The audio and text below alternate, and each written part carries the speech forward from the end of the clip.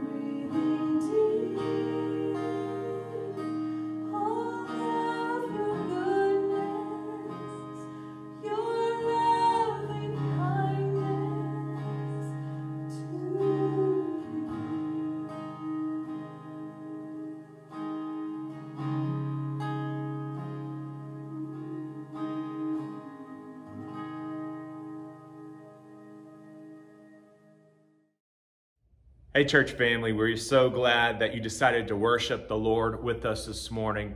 I want to give you a brief uh, giving moment opportunity today. And uh, I just want to thank you so much for y'all being generous givers, that you're giving in your tithes, giving in your uh, offerings. But uh, we have an additional opportunity going through the month of December. So just three more weeks and that is our giving tree, which is right here beside me. This giving tree is a way that you can impact financially or serving uh, not only your church family, but also the local community, our local area around us, other ministries that we're partnering with. And on this giving tree, and also, by the way, there's a digital giving tree, but on this physical one, what you're going to see is three different tabs. And when you go to our website at c3victory.com, you click on the giving tab. Underneath there, it'll say the giving tree. That, that's kind of the digital version of this tree. So you can go to either one. Maybe you're at a watch party this morning watching it. You can check out our giving tree. Or if you're at home or on the road, traveling, whatever's going on, you can participate with our giving tree through our online digital giving tree. And there's three different tags that I want to talk about. But today I want to highlight one, and that is our gold tags our gold tags. And what our gold tags are, it's uh, areas in our uh, community, ministries in our community that we're partnering with, that we're giving into to make a difference. And the one we've selected is the Bethlehem Maternity Home, the Bethlehem Mater- Maternity Home.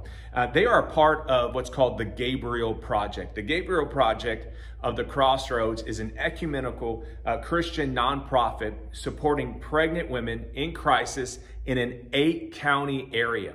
They support them emotionally, spiritually, uh, materially, and in education.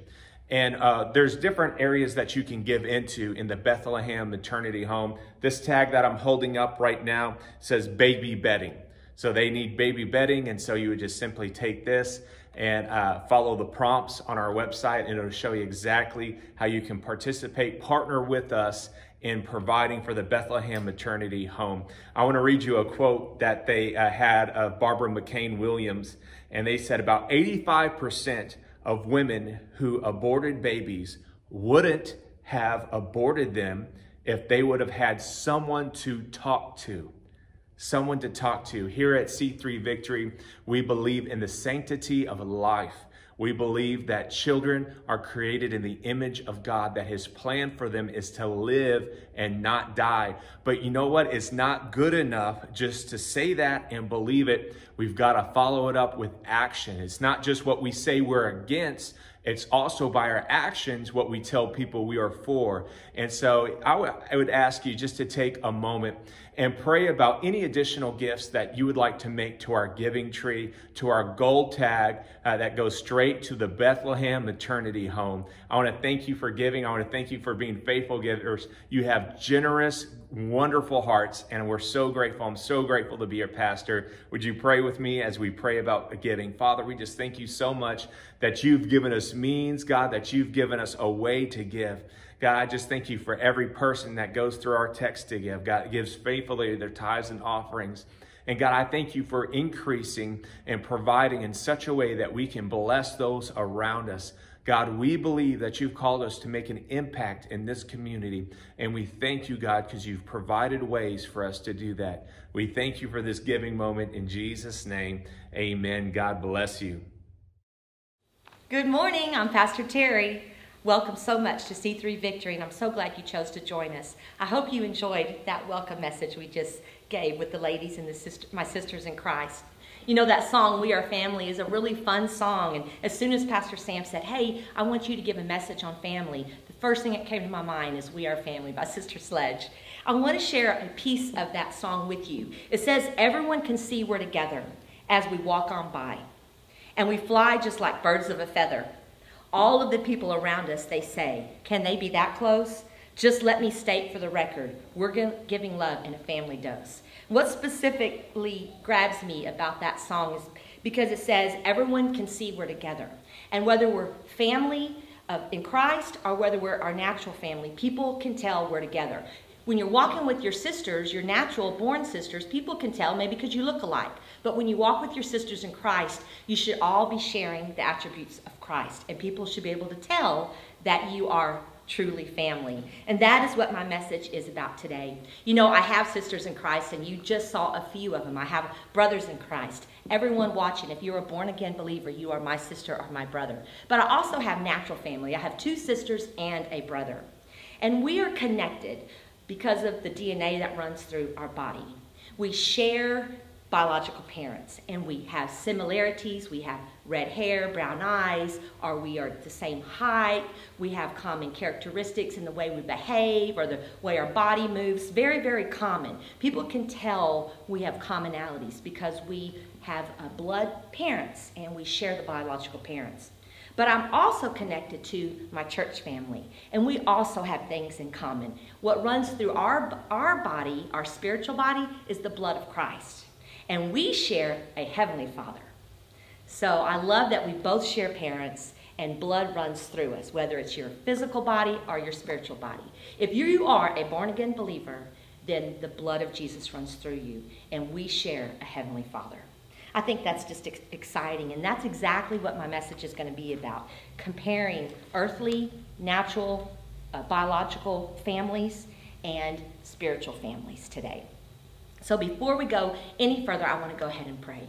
Heavenly Father, I thank you so much for this day. I thank you for this morning. I thank you for those that are watching, whether they're streaming uh, far, far away or just here in Victoria and staying home and staying safe. I ask that you bless those that came uh, to the watch party and that you keep them safe as well.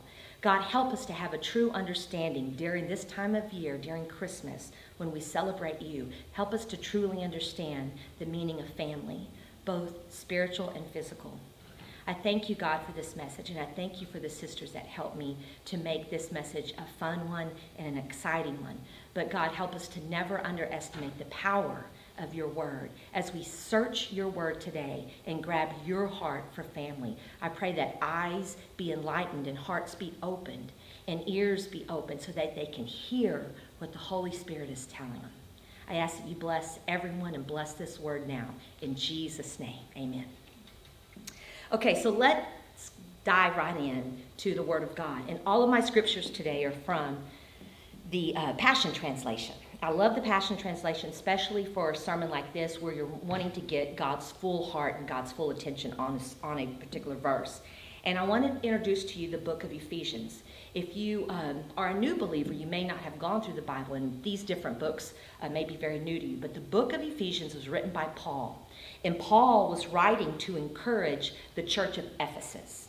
So they're called Ephesians. And the purpose of this book is to explain the nature and the purpose of the body of believers, or I could say the church family. So if you wonder, well, what does God say about church family and family? Because it actually references both.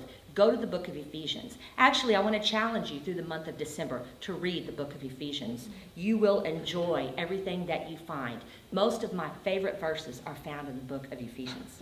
So let's start off with loving relationships in our natural biological families. God actually addresses that, and He addresses that in Ephesians 5 22 through 22 through 33. That's a lot of verses. I'm going to read through, stop a little bit, talk a little bit about them. But basically, 5, 22 through 33 talks about loving relationships in our natural biological families. Starts off in 22 for wives. He starts with us first. Mm-hmm. This means being supportive to your husbands like you are tenderly devoted to your Lord. For the husband provides leadership for the wife, just as Christ provides leadership to the church as the Savior and the reviver of the body. In the same way the church is devoted to Christ, let the wives be devoted to their husbands in everything. Now, whenever we say the word body, we're talking about the church family. I love that word devoted. I wanted to know what that meant because he mentions that uh, the church is devoted to Christ and the wives should be devoted to their husbands in everything. So, what does that mean exactly? Well, devoted means zealous, loyal, and affectionate. Just like Christ is zealous, loyal, and affectionate to the church, we should be zealous, affectionate, and loyal to our husbands. Now, verse 25, it talks to the husbands. And to the husbands, you are to demonstrate love for your wives with the same tender devotion that Christ demonstrated to us, his bride. For he died for us, sacrificing himself to make us holy and pure, cleansing us through the showering of the pure water of the Word of God. All that he does in us is designed to make us mature and a mature church for his pleasure until we become a source of praise to him, glorious and radiant, beautiful and holy, without fault or without flaw. I want to read that again, uh, verse 27.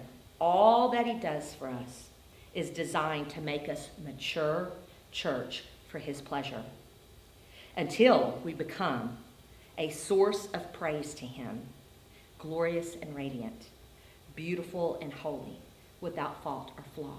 And we will not become without fault or flaw until we are in heaven praising him.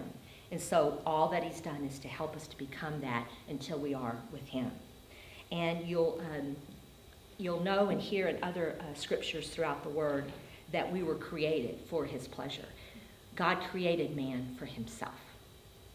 In verse 28, husbands have the obligation of loving and caring for their wives the same way they love and care for their own bodies. For to love your wife is to love your own self. No one abuses his own body, but pampers it, serving and satisfying its needs. That's exactly what Christ does for the church. He serves and satisfies us as members of his body, quote, his family. And that is what the husband should be doing for the wives. That sounds like a, a, call, a large order for you men, but I have faith that you can do it because that God created you to be able to do that. Verse 31 For this reason, a man is to leave his father and his mother and lovingly hold to his wife, since the two have become joined as one flesh. Marriage is the beautiful design of the Almighty. It's a great and sacred mystery meant to be a vivid example of Christ and his church. So every married man should be gracious to his wife, just as he is gracious to himself. And every wife should be tenderly devoted to her husband. I love the way Paul just wraps it up and ends it right there with a little summary. We are living examples of Christ in our natural families. So my note there is saying that we are living examples of Christ in our natural families. He built husband and wife. He built the uh, sanctity of marriage. And so that is a representation of the body of Christ. And as a born again believer, then your life should be representing uh, Christ's love for the church. And this is his direction for us on that. So let's talk about children. We can't leave them out. When we talk about family, we also are talking about children. So in Ephesians 6, I'm jumping to 6. We were in 5, so let's go to Ephesians 6.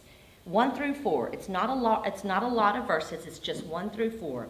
But it is Ephesians 6, 1 through 4. So let's pay attention, children. If you're at the house with your parents or you're sitting here at the watch party, uh, open up your ears and, and, and listen to this. Children, if you want to be wise, listen to your parents and do what they tell you. And the Lord's and the Lord will help you. I want to uh, emphasize if you want to be wise, listen to your parents and do what they tell you, and the Lord will help you.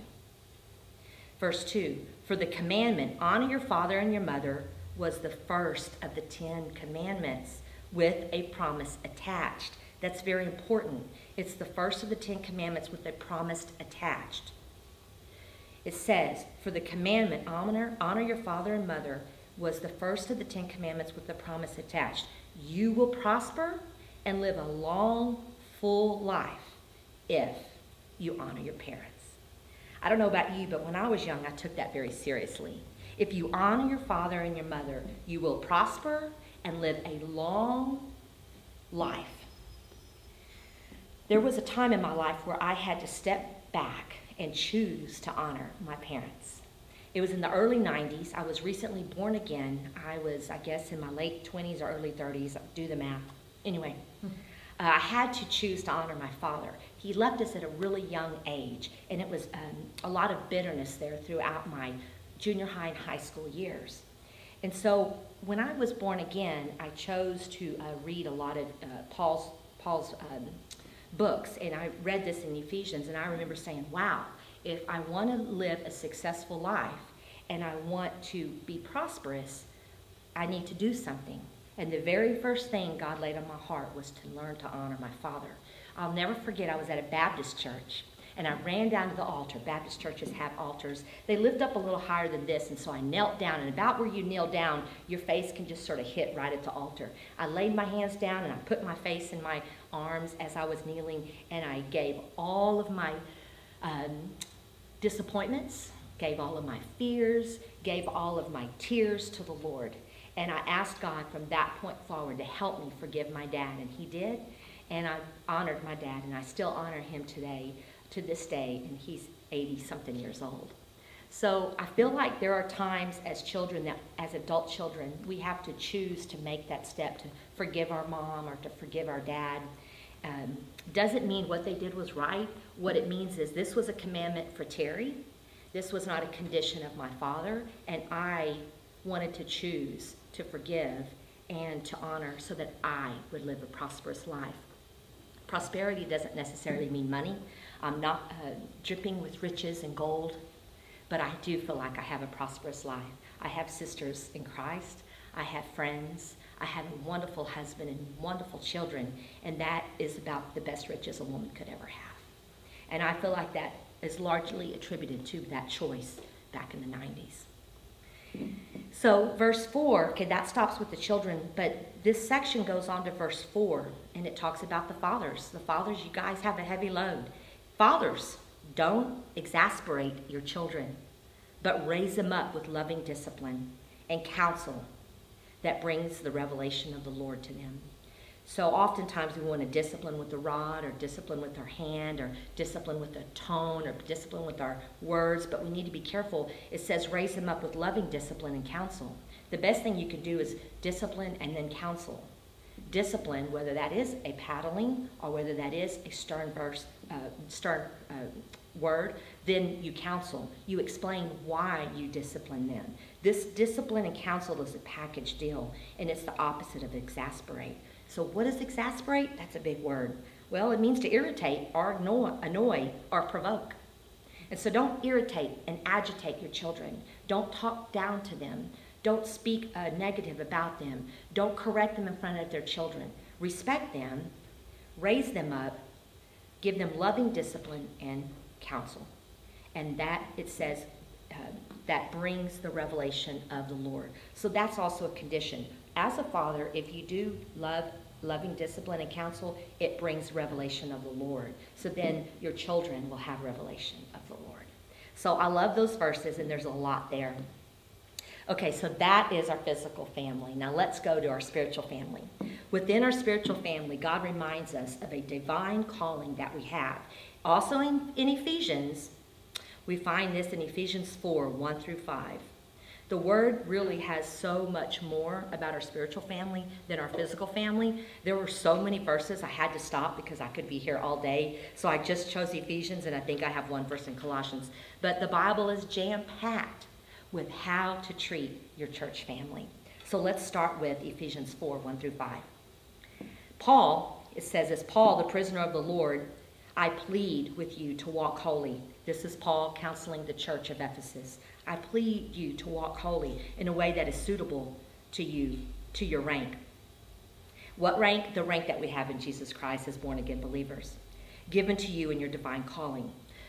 Verse 2 With tender humility and quiet patience, always demonstrate gentleness and generous love toward one another, especially toward those who may try your patience. I think that's a good one. I like that one. I'm going to read that one again. With tender humility and quiet patience, always demonstrate gentleness and generous love toward one another, especially those who try our patience. It's easy to love those that are easy to love, but what about the ones that are hard to love? He doesn't say consider it or think about it. He says always demonstrate gentleness and generous love toward those that try our patience. Verse 3 Be faithful to guard the sweet harmony of the Holy Spirit among you in the bonds of peace, being one body and one spirit, as you were all called into the same glorious hope and divine destiny. We are all called into the same divine destiny, and that is the body of believers, the family of God, and having that divine appointment from God, our Heavenly Father. Verse 5 For the Lord God is one, and so are we. For we share one faith, one baptism, and one Father. And He is the perfect Father who leads us all, works through us all, and lives in us all. Speaking of baptisms, we had so many baptisms last Sunday, and it's so exciting to know that each one of those now are part of my family as well. Now let's go into Ephesians 4 21 through 32. It reminds us of our life as new believers and how to live our new life in Christ. 21. If you have really experienced the Anointed One and heard His truth, it will be seen in your life, for we know that the ultimate reality is embodied in Christ. It should be seen. People walking down the street, just like our song said, should see. People are watching us.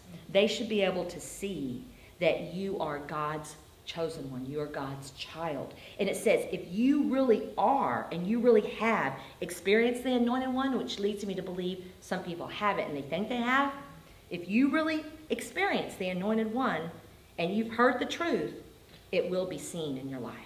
At the end of the day, Christians are different and they should be seen as different. Verse 22 And he has taught you to let go of the lifestyle of the ancient man, your old self, life which was corrupted by sin and deceitful desires that spring from delusions. Now it's time to be made new by every revelation that's been given to you and to be transformed as you embrace the glorious Christ within, within as your new life and live in union with Him. For God has recreated you all over again. I love that. We talk about being a new man, we talk about new wine. Here it is, right in the Word. For God has recreated you all over again in His perfect righteousness. And you now belong in, to Him in the realm of true holiness. And you now belong to Him in the realm of true holiness. So discard every form of dishonesty and lying so that you will be known as one who always speaks the truth, for we all belong to one another. Again, how are you going to be known? What is your reputation? You know, my boys have a, reputation of being hard workers. That's because they belong to Tommy Kurtz, and he is known as being a hard worker. So they have this reputation. Well, there's other reputations people have too. so let's make sure we have a good reputation as we represent Christ, or whether you have a reputation in your family. I guess that's my question sometimes is what is your family representing, whether it's your church family or your family? But don't let, in verse 26, don't let the passion of your emotions lead you to sin. Don't let anger control you or, or be fuel uh, for revenge, not even for a day. Don't give the slanderous accuser, the devil, an opportunity to manipulate you. If any of you has stolen from someone, never do it again. Instead, be industrious, earning an honest living, and then you'll have enough to bless those in need. This is uh, just good guidance about, um, you know, not letting your anger control you and, and watch what you're saying and don't let the accuser take you down and manipulate you. And instead, uh, earn an honest living and be industrious. Why? So that you have what you need to give to the other people in the family. Verse 29, and never let ugly or hateful words come from your mouth. Did you ever wash your child's uh, mouth out with soap? I have. And the way I did it is just to put some soap on a, a, rag and put it in his mouth. And it, it, it, sounds horrible probably to some of the modern day moms, but it was, it was sort of popular back in the 90s. I have a couple of ladies here with me and some of them are nodding their heads. So why? Because, because ugly or hateful words came out of their mouth. And as moms, we're also called to discipline our children under the umbrella of the Father, right? So uh, discipline and then counsel and explain to them why those words are not good. And if you knew this verse, which I don't know if I knew it when I was a young mom, but it's right here, Ephesians 4 29. Don't let ugly and hateful words come from your mouth. Instead, let your words become beautiful gifts that encourage others. Do this by speaking words of grace to help them. Teach your children how to speak gracefully to one another and how to speak encouraging to one another. And let your children know that words are powerful. Tell your children God created the world with his words and that they create a negative or positive environment with their words. And show your children where in Scripture that is. Verse 30 The Holy Spirit of God has sealed you in Jesus Christ until you experience your full salvation. We're sealed until we experience our full salvation in heaven. So never grieve the Spirit of God or take for granted his holy influence in your life. Lay aside bitter words, temper tantrums, revenge, profanity, and insults, but instead be kind and affectionate toward one another. Has God graciously forgiven you? The answer is yes. Then graciously forgive others in the depths of Christ's love. So, you know, we um, have a tendency to imitate our Father. And I know we talked about imitating our Heavenly Father, but I love to see little boys imitating their dads. You see that all the time. Uh, I know I, ha- I have a grandson named Trev, and he wants to be so much like his dad, Trevor. He's like, Gigi, comb my hair to the side, and, and, and, and can you unbutton the first two buttons? That way I can be like my dad, and don't forget to put my gold chain on. So he just, he just loves my son Trevor, and he wants to be just like him. And I just think that that is so cool because by nature, no one tells a little boy, go be like your dad. By nature, they want to be like their dad. And it is the funnest thing to watch as a Gigi. But by nature, we should want to be like Jesus. It should just be our natural desire to be like Jesus. So be imitators of God, Ephesians 5 1 through 2. Be imitators of God in everything you do, for then you will represent your Father as his beloved sons and daughters, and continue to walk surrendered to the extravagant love of Christ, for he surrendered his life as a sacrifice for you. And now finally I'll wrap it up with Colossians 3:12.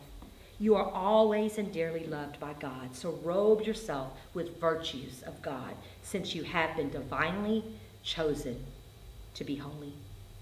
Be merciful as you endeavor to understand others, and be compassionate, showing kindness toward all. Be gentle and humble, unoffendable, unoffendable in your patience with others. That is a wonderful verse to end on, Colossians 3:12. It gives you clear clear guidance on how to be a child of God. And I just love those words compassionate, kindness, gentle, humility, and unoffendability. I pray that during these unprecedented times and during times of confusion, that you can grab hold of the Word of God and that it will empower you to be the person that God's called you to be, whether you're a mother or a father, a daughter, um, an aunt, and or, an uncle. I pray that you bless your family during this time, both your church family and your spiritual, your, your spiritual family and your physical family.